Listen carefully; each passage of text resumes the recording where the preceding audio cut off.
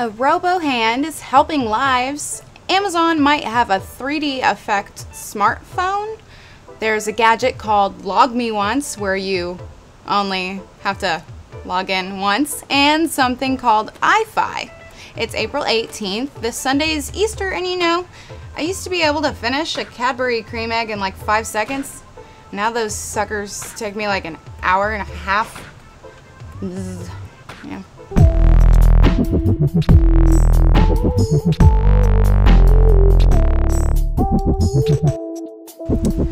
What was a terrible afternoon for a carpenter after accidentally sawing off his own four fingers of his right hand, yeah, not your typical day, turned out to be a moment of innovation. He pretty much knew the surgeons weren't going to be able to save his fingers, so right after it happened, the man named Richard Van As was already putting his mind to work on how he could fix his own hand. True carpenter.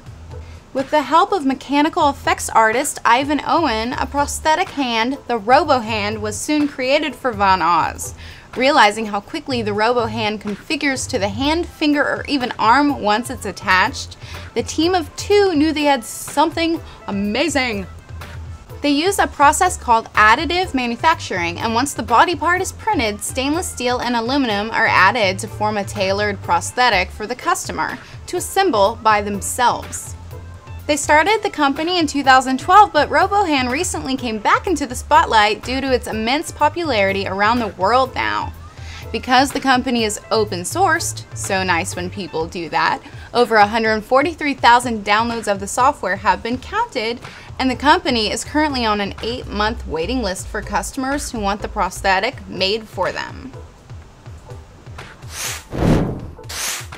The gadget I'm going to talk about next is right on time. This heartbleed bug crap has really pissed us all off. By the way, if you need more information about the heartbleed bug, please refer to partspeople.com for a full report on it or my previous episode.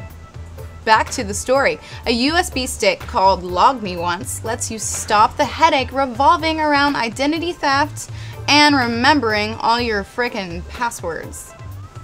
LogMeOnce is a multi-purpose password manager with a military-grade encryption service made to not only store and keep your data, but also act as a password vault and a phone charger. Charger. By consolidating hardware and software, it essentially unites all your passwords, user IDs, web accounts, and USB drives. Additionally, the USB stick gives you access to the LogMeOnce website an online dashboard for managing your privacy and your passwords. This way, you take out the worry of mentally memorizing all your personal passwords to each website. The USB interface has a generous 16 gigs of secure space, and the Kickstarter website is currently asking for only $135 for the gadget. So, Amazon is close to showing off its very first smartphone, and we've been hearing about it for a couple years now at least. Well, we know it's coming now because the internet told us so, and it's going to have limited 3D effects with head tracking. Think of it as a Nintendo 3DS, but tilting your head around to use the three-dimensional functionality. I honestly don't get it. This will either do just fine or bomb, man. I am just not sure who wants their phone to have a 3D lock screen, 3D interface, and app icons. Oh, and the phone's apparent five front-facing cameras are the secret to this. One is for video chatting, while the other four are placed on all corners of the smartphone to detect your head movements. We don't know too much else about it, except it will run some version of Android, similar to something you find on Amazon's tablets. Its display is noted as 4.7 inches across, smaller than what's been popular recently, and also a smaller pixel count than the new standard, at only 720p. The Wall Street Journal also says the 3D is going to be very limited right out of the box. So, sometime this June, I guess we can expect for Amazon to announce their very first phone with a million cameras and possible 3D fun. Or nauseousness creator. What? I have a Nintendo 3DS and I never turn on that 3D stuff. Makes me feel like I'm gonna barf. Lastly, a present that Daria definitely wants. Eyefi is a company known for providing Wi-Fi enabled photo storage cards for virtually any digital camera. They start at about $45 on Amazon and make it super freaking easy for the user to transfer videos and photos simply by Wi-Fi, rather than plugging in, uploading them, and then importing them into your computer. Because that's way too much work. But that's not the news. Now, Eyefi has created Eyefi Cloud Storage Service. With Eyefi Cloud, photos are automatically uploaded to the web, then synced to the user's smart devices. It's so easy. You know that moment when you capture such a grand photo and you want to show it off immediately?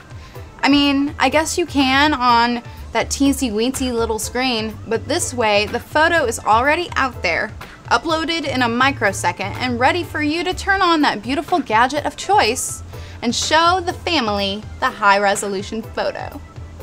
Does it not seem like all digital cameras these days should incorporate such technology into them? I mean, some have Wi-Fi, but not many. Definitely not the older ones. So, use the Eyefi SD Mobi card, which range in cost and storage sizes, and also use the free iOS or Android app, and also get 90 days of free Eyefi cloud service. After that, it's 50 bucks a year. You know what's interesting that I just learned?